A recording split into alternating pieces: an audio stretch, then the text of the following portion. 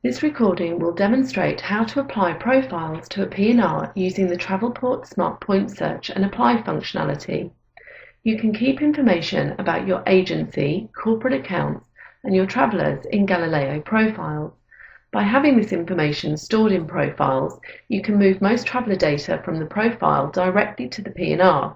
The three levels of profiles are agency, business, and personal.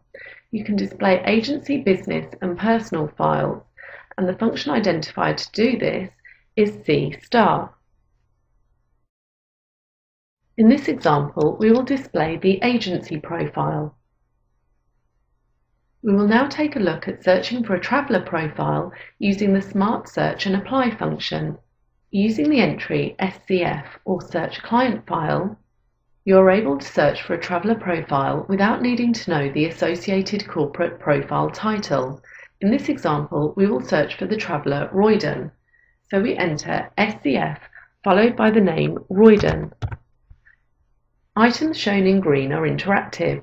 You are given three options to move the business profile, personal profile, or both. Let's move both profiles into the PNR.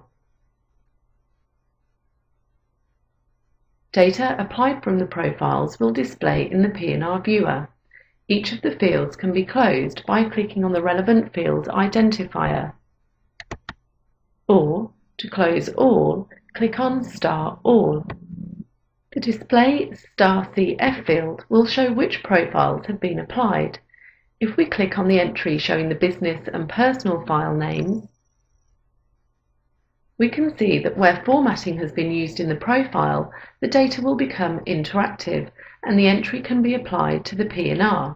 In this example, SSR data has been stored as an entry within the profile.